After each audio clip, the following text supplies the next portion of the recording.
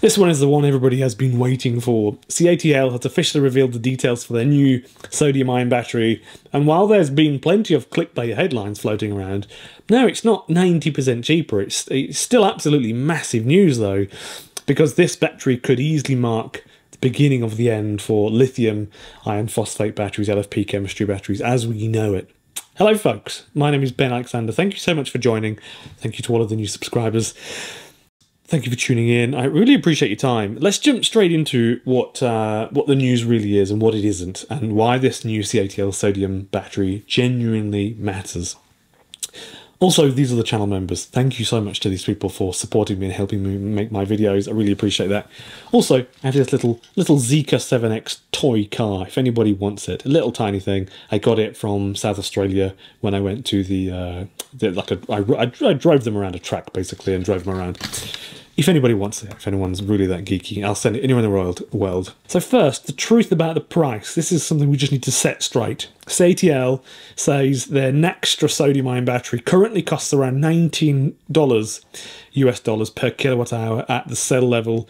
Compare that to today's lithium ion phosphate cells, which are you know LFP chemistry, roughly 55 to 60 dollars per kilowatt hour uh, when bought in very large quantities.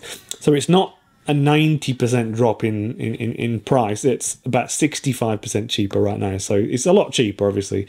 And CATL believes it could fall even further, potentially down to maybe even $10 per kilowatt hour in the next few years. That's not marketing speak or PR speak. That's, that's what they really, really do think. That's coming directly from the world's largest battery manufacturer, the same company who quietly powers Tesla, BMW, and dozens of other uh, automakers worldwide.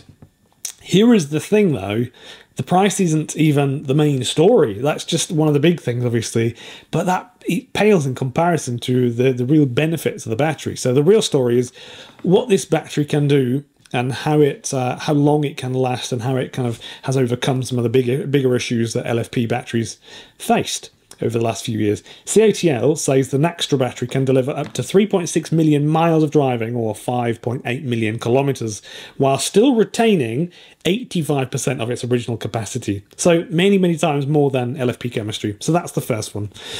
That's three to six times longer than even the very best LFP packs on the market today.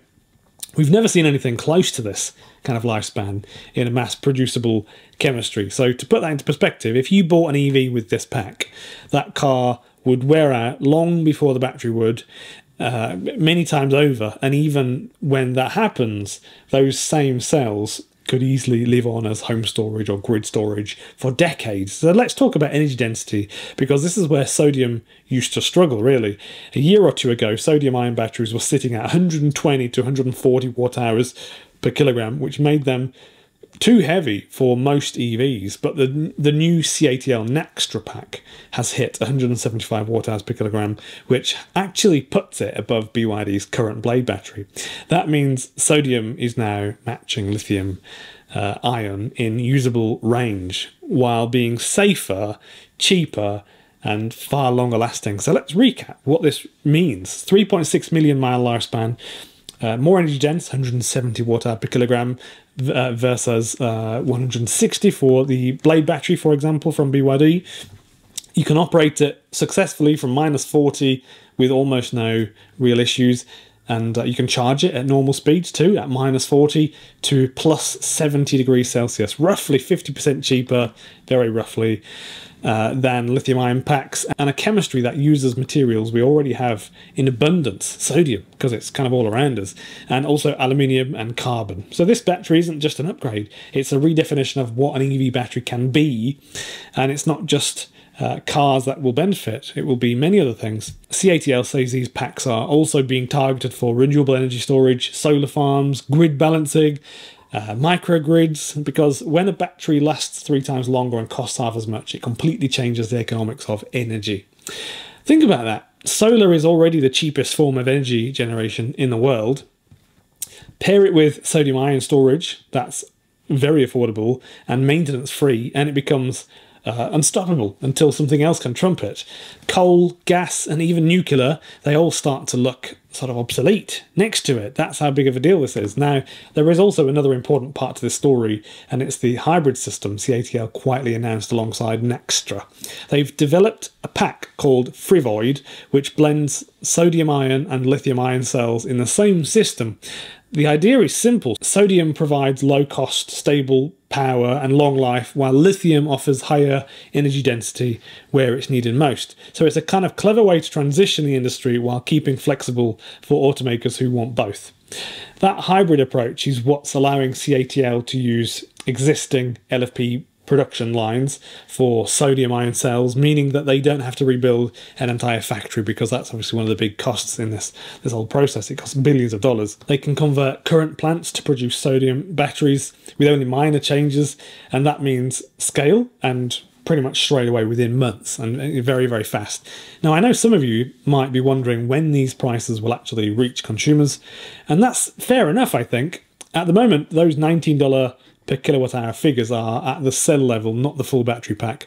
Once you add uh, casings, cooling, and electronics, you're probably looking at 40 to 45 kilowatt hours, dollars per kilowatt hours at the pack level. So still far cheaper than anything on sale today. CATL has not given any exact uh, timeline for when the $10 target might be hit. But I, re I reckon realistically, maybe two or three years away. Even so, it's already a huge leap forward. And here's what is wild these sodium cells can be built on the same lines as LFP batteries. So that's that's incredibly beneficial for everybody, really, all parties involved. Meaning any factory currently making lithium iron phosphate could pivot to sodium with minimal retooling and cost.